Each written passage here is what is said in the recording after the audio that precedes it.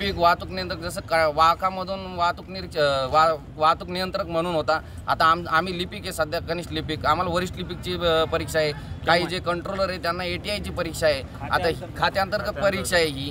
याचे फॉर्म एक वर्षापूर्वी भरलेले आहे. इतक्या एक वर्षापासून त्यांनी कोरोनामुळे ती स्थगित केली. आता सहा महिन्यापूर्वी त्यांचं नियोजन ठरलं होतं घ्यायचं पण तरीसुद्धा त्यांनी घेतली नाही. पण आता पंचवीस दिवसापासून हा दुखवटा चालू आहे आणि हा दुखवट्यामध्ये मागच्या हप्त्यात त्यांनी परिपत्र काढलं की परीक्षेचं नियोजन करण्यात आलं आहे आणि सव्वीस तारखेला तरी त्याची परीक्षा ठेवण्यात आली आहे. तर त्या परीक्षेच्या आधी एक प- प- प्रशिक्षण म्हणून उजळणी सत्र ठेवतात.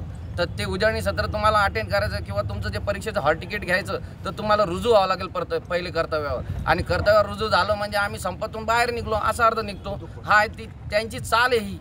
आता आमचा जा हा जो दुखावटा चाले याच्यात अचानक त्यांनी हे आता परीक्षा भरती परीक्षेचं काढलं.